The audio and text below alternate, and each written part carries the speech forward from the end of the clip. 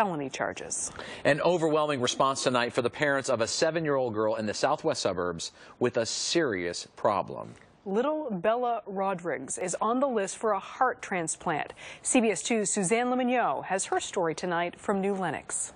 Bella Rodrigues has been here at Lurie Children's Hospital since January 20th as the seven-year-old fights a mystery virus that's ravaging her heart. Cheers to Bella!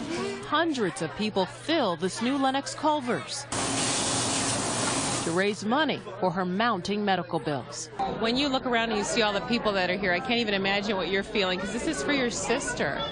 This is just amazing. I, I love the people that are here. It just shows like how much one town can do for like one little girl. It's awesome.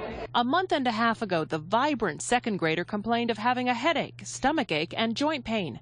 Now, the new Lenox native is on a ventilator her heart beats with the help of a pacemaker. She may not actually need a heart transplant, but she's still on the list just in case.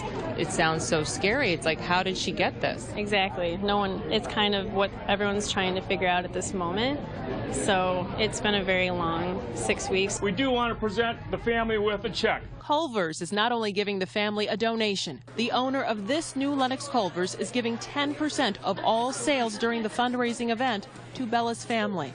Her medical expenses are now in the hundreds of thousands of dollars. I have two young kids, and I know what type of help that I would want at that time, so we wanted to be involved in it. She'll pull through, yeah.